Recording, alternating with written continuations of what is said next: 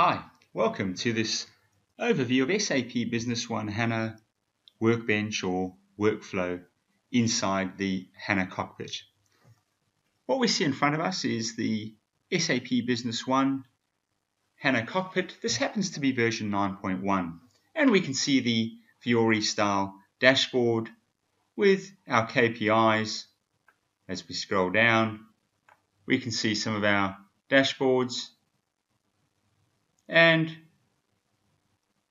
widgets.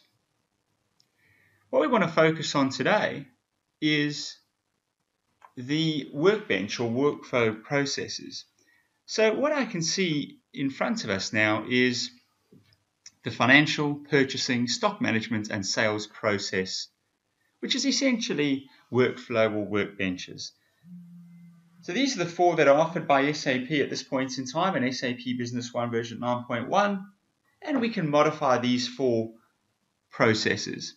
Let's get a bit of a better understanding of how they work. Let's focus on the purchasing process.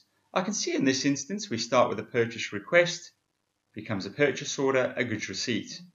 Now obviously I can click on for example the purchase order icon, it'll take me directly into a purchase order inside SAP Business One. I can also click on the blue button. It will take me to other information, for example, an open items list, which is, might be the related information that I'm looking for in this instance.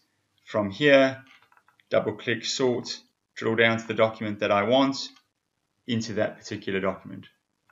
Alternatively, I might be looking, for example, from here for a last prices report.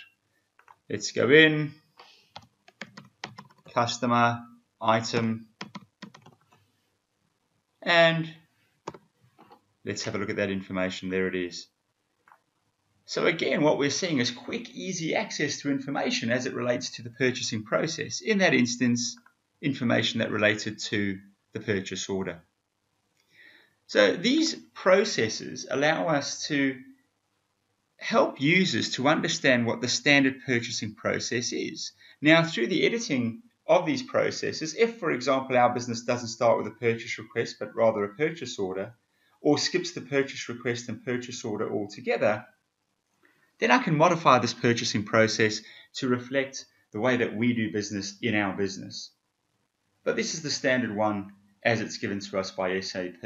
So these are great indications. You can put these processes, the sales process, the stock management, the financial process, or the purchasing process onto a user's cockpit and it enables the user to go directly to the information they want or the related information. Another example of this, go directly from here down to our purchasing reports as an example.